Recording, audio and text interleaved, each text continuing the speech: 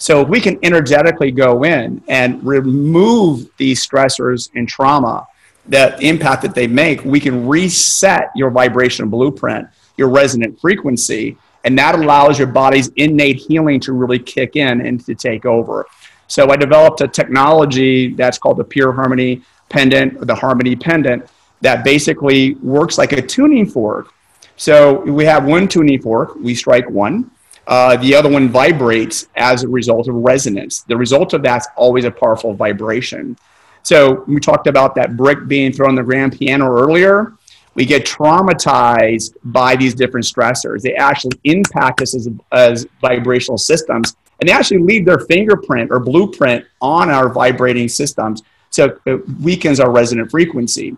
So we can amplify your vibrational blueprint. We can release these lower vibrating stress, stresses and trauma, resetting you back in harmony, uh, back into balance.